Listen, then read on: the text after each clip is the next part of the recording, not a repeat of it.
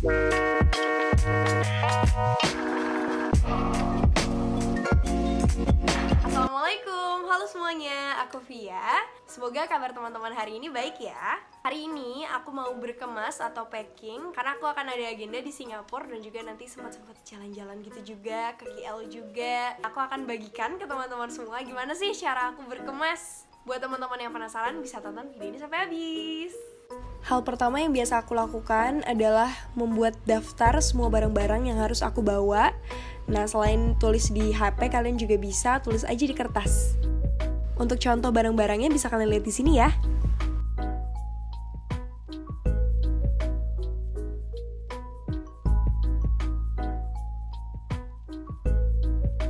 Sekarang saatnya kita berkemas. Oke, jadi kali ini aku akan pakai koper kabin karena nanti ke mana-mana. Jadi aku nggak mau bawa koper yang terlalu besar.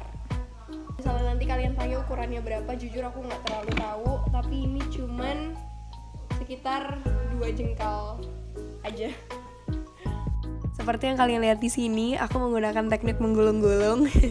Walaupun ini mungkin kelihatannya akan menghabiskan tempat, justru enggak teman-teman, ini akan sangat menghemat tempat.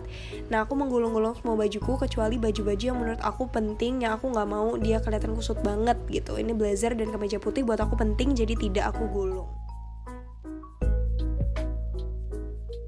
Selain bawa koper, aku juga pasti bawa ransel. Ini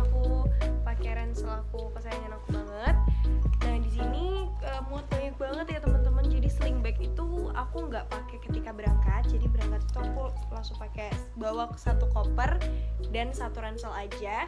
Jadi di sini ada sling bag aku dan apa-apa yang mungkin tadi nggak cukup di koper, jadi dimasukin ke ransel ini. Jadi charger charger, power bank itu masukin di sini. Supaya nanti kalau misalnya perlu-perlu, tinggal ambil di sini aja, nggak perlu buka-buka koper lagi. Ini ada tumbler juga ya Oh iya, ini aku sangat menyarankan teman-teman yang mau berangkat ke Singapura, kalian wajib banget bawa tumbler. Jadi hukumnya kalau ke Singapura itu wajib bawa tumbler. Karena di sana air mineral cukup mahal dan kalau kalian bawa tumbler, kalian bisa isi ulang aja di mana-mana itu di Singapura banyak banget station buat ngambil air gitu. Jadi akan sangat bikin hemat. Gitu deh teman-teman, mudah kan? Jadi semoga bermanfaat untuk teman-teman yang juga mau jalan-jalan atau traveling. Enjoy the trip dan sampai ketemu di video selanjutnya.